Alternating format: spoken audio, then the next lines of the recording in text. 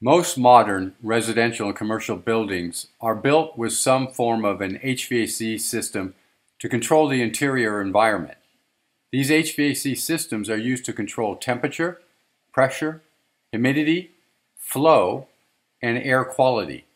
In this video, we'll show you how these HVAC systems use various controls to respond to the needs of the environments that they seek to control.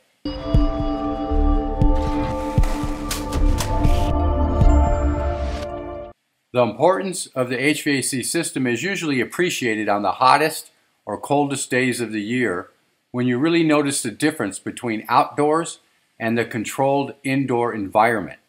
The HVAC systems are designed to be able to meet the peak demand for each of the seasons, summer highs and winter lows. Most of the year, the HVAC system will run at partial load, where the full capacity of the system is not used. The demand on the HVAC system changes throughout the year and daily. HVAC systems are sized based on heating and cooling loads, often performed by load calculation software. The load calculations will take into consideration the solar load on the structure, the quantity of people in each space, heat from lights, and the plug load, which is all the equipment and appliances that use power and generate heat within the building. The HVAC control system will need to respond to these changes to maintain the environmental conditions such as temperature, pressure, humidity, and air quality. HVAC systems can be used to control the environment for people, food, clean room processes for computer chip manufacturers or pharmaceutical drugs, animals, IT equipment in data centers, and hospital procedures. The scope of application is endless, but we'll stick to the control of the environment for humans. HVAC systems use some form of controls from the very basic to the very sophisticated BMS building management systems that can monitor and control everything from the HVAC system, lighting, fire systems, and security systems. We can control a simple single standalone piece of equipment like a home air conditioner or hundreds of pieces of HVAC equipment all networked together and controlled from a front-end computer in the facility manager's office or remotely. On-off control. The most basic form of control is to turn on and off a piece of equipment with an on-off switch. You have two options. Either the equipment can be on or off. This can be done with a simple light switch as an example. Carbon monoxide garage exhaust system. We'll use an underground parking garage for our example, as anyone has been in one of these. With a simple on-off switch, we can turn the garage exhaust fan on when the garage is occupied and shut it off when all the cars leave. Not very efficient and against code in most jurisdictions. We can automate this by adding a carbon monoxide controller and sensor to activate the fan when the total CO level reaches the set point of the controller. The CO sensor will send an analog input signal to the carbon monoxide controller indicating the current CO concentration. And when the set point of the controller is reached, meaning that the level of CO in the garage has reached a level that requires the exhaust fan to be turned on, the controller will send a binary signal to the fan to start. This input device or CO transmitter senses if there is a buildup of car exhaust. We can now add more controls for better energy efficiency, such as a VFD. Now, the CO sensor sends the current concentration of CO in the garage to the controller. The controller will compare that to the set point. If the input signal CO levels is greater than the controller set point, the controller will send an analog output signal to the VFD, variable speed drive, to speed up the fan. The output signal is considered an analog signal because it can vary.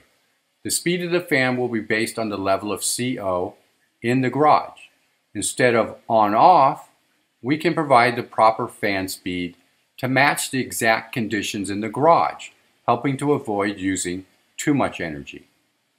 We can still add a few more binary output devices to bring attention to a dangerous situation.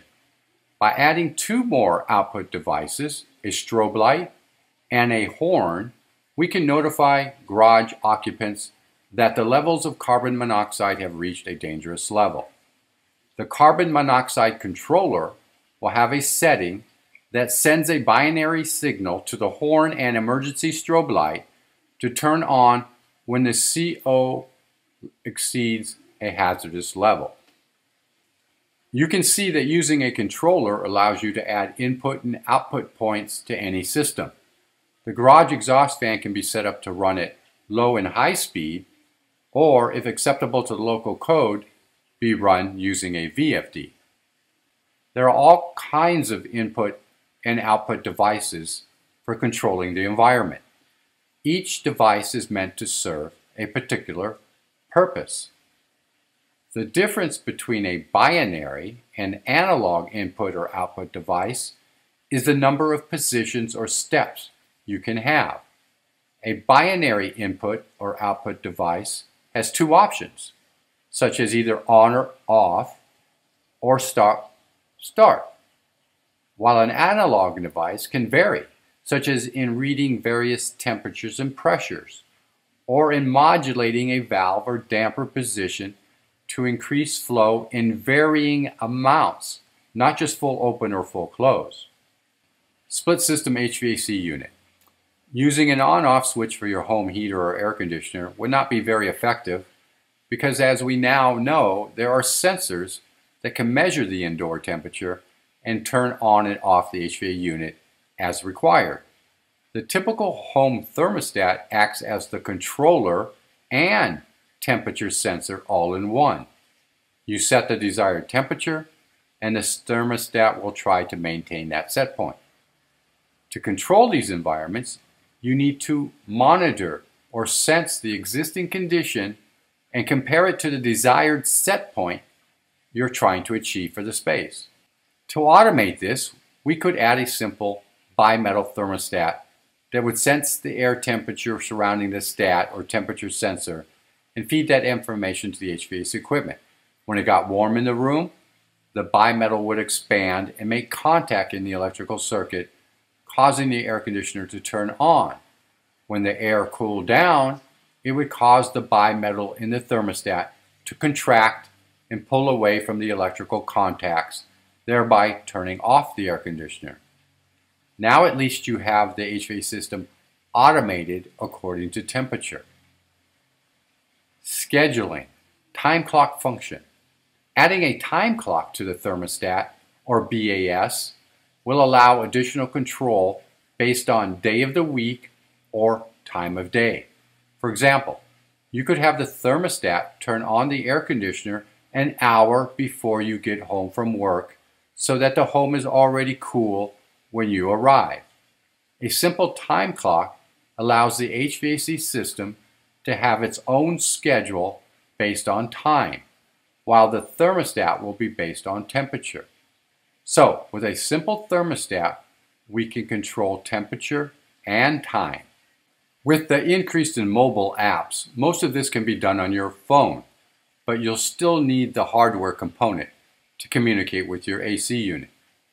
Scheduling is important in commercial buildings because you don't want the occupants to arrive in the morning on a very cold day to find their offices freezing cold. Another reason is that you want to make sure that the HVAC system can't run on weekends or during the night when the building is unoccupied, as this would be a big waste of energy and money. With building automation software and their control logic, the schedule and the temperature can be optimized beyond just starting an hour before the occupant's arrival. The automation software will look to optimize the starting and stopping of the HVAC system to provide for energy savings. So, the control program will check with other input devices such as an outside air temperature sensor and zone temperature sensor to determine when to bring on the heating or cooling to meet the design temperature before the occupants arrive. This will help the controls program calculate how long it might take to heat up the building before the occupants arrive. The colder the outside air, the longer it will take to warm up the building. So the earlier the HVAC system heating mode will be turned on. VAV box control. A VAV box is commonly found in medium to large commercial buildings. So this will help explain the basic control sequence for this design. You can see that the VAV box controller, number one, is mounted on the VAV box and receives an analog input from the room temperature sensor, number two, meaning it can provide a wide range of temperature readings. The discharge air temperature sensor, number three, is another analog input device and airflow sensor number four. In heating mode, the VAV box controller receives input from the room's temperature sensor that is too cold in the space. The controller then sends a signal to the damper actuator, number five, which is an analog output device, to close the damper to minimum position and start to modulate the heating hot water control valve number six, open another analog output device. The controller, being the brains, receives input information on which to compare against the set point, and then sends an output command to various components to achieve the desired environmental conditions set for the space.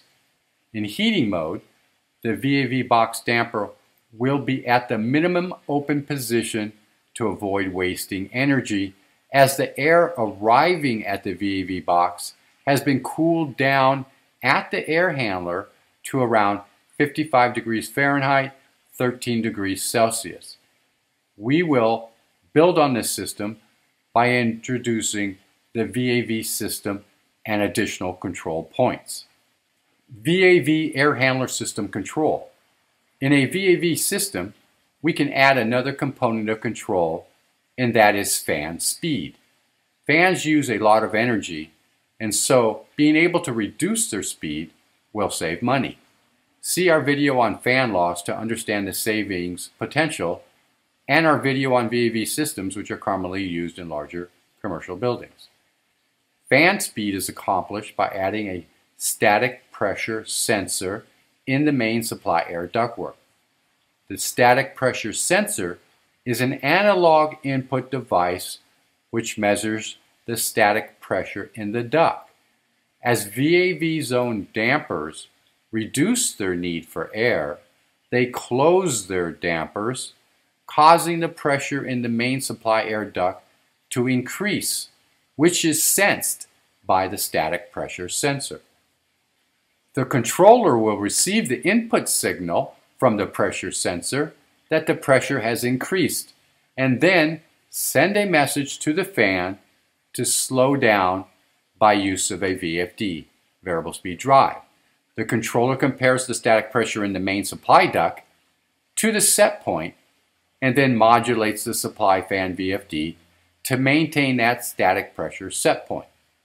As the demand for cooling decreases more, the static pressure set point can be reset downward to save additional energy. To learn more about variable speed drive, see our video on VFDs. Fan coil system control. A similar device in a water-based system would be a differential pressure controller combined with two-way valves on the coils. In a heating hot water or chilled water system, as the modulating two-way control valves at each coil begin to close, the increased pressure is sensed by the differential pressure controller, an analog input device. This sends a signal to adjust the pump speed using a VFD to reduce the frequency or hertz delivered to the motor on the pump, thereby reducing the flow of water. VFDs are used to control cooling towers, chillers, pumps, and fans.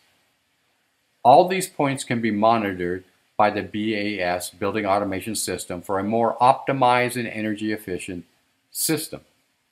Flow control valve. Using a thermostat with a control valve Connected to a fan coil or radiator, we can control the flow of heating hot water or chilled water either of two ways. First, the two-way flow control valve can be either a two-position valve that is either opened or closed binary or modulating analog. Using a two-position control valve, when there is a demand for cooling or heating, the control valve opens all the way and you get full water flow whether you need it or not. The second method would have a modulating or proportional control valve accept a varying analog signal like 40 to 20 milliamps. Instead of two positions, full open or full closed, the valve will have various percentages of open. The analog input temperature sensor sends a signal to the fan coil controller indicating the current temperature of the space. The controller compares the current temperature in the space to the desired set point. The greater the distance from the set point, the greater will be the response to open the valve. The controller accepts the input temperature from the sensor, compares it to the set point in its control logic, and then sends an analog output signal to the device being controlled. The controlled device then responds by trying to change the controlled environmental element. In this case, it's the temperature by opening the two-way control valve and increasing the flow of hot or cold water through the coil. In commercial controls industries, you'll hear the term sequence of operation. This is the defined method or sequence upon which the controls are to respond as defined by the mechanical or controls engineer. It defines how the controller, along with the input and output devices, will achieve control of the environment or space, whether that is a room occupied by humans, animals, or equipment, whether it's an icebox or a central plant. The sequence of operation explains how the system is designed to operate. Points list. The points list is a quick reference chart that lists all the input and output points required to meet the sequence of operation strategy. You'll find these on commercial construction control drawings. Here is the one for our simple garage exhaust CO monitoring system. Control drawings. The control drawings provide a schematic diagram of where and how the individual control devices are connected overall. If you like that video, please give it a thumbs up and subscribe to our channel. Thank you.